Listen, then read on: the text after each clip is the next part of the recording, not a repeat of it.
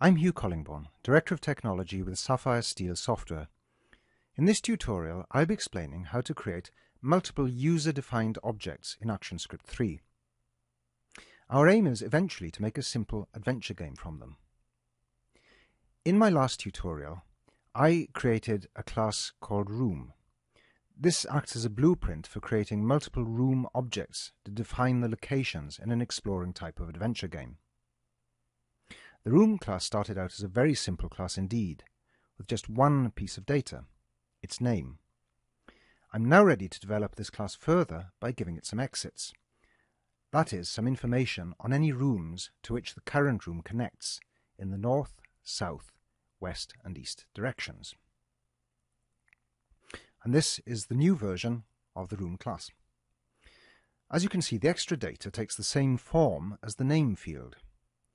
Each exit is a public variable of the string type, and it's initialized in the constructor.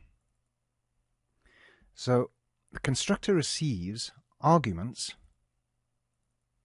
which are then assigned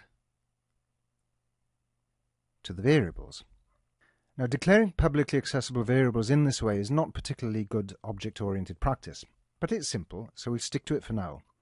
In a later tutorial, I'll show you how to hide internal data of objects and use accessor methods to get and set their values. Let's now see how this class is used in the mxml file that defines the user interface of the game. The first thing I've done is to define a number of constants. Now these constants will hold the names of the rooms. I'll be using these values not only to name each room as it's created, but also to indicate which room lies at each of its four exits. Declaring them as constants not only saves some typing effort, but more important, it avoids the possibility that I'll make a mistake when I repeatedly enter the names of the rooms. Then I declare a set of room variables. And finally, I create the room objects. When I create the room objects, I call the constructor using the new keyword and pass to it all the arguments it requires. So the name and the room names at each of the exits. I want this init function to be called when the application is first created.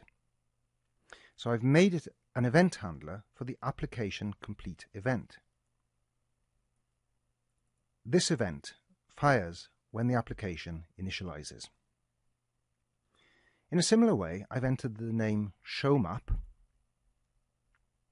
down here as the event handler for the click event of the button.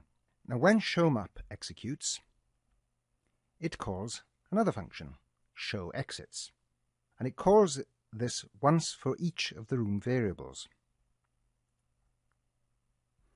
If we look at the showExits function, you can see it receives each room variable with the argument name a room.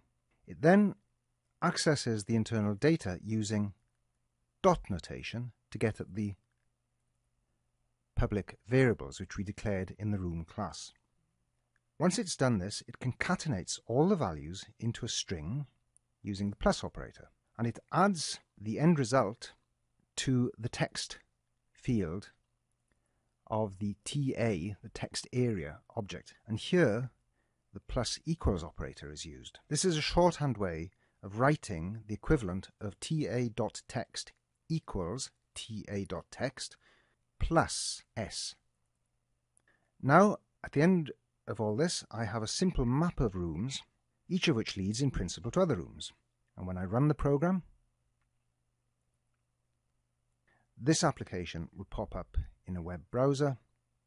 When I click the button, which has the click event handler attached to it, it will create the string and show the results. And it shows that the rooms have been correctly created, they've given their names, and the exits have been set up to lead to other rooms in principle, or when there is no other room adjoining in that direction, no exit is displayed.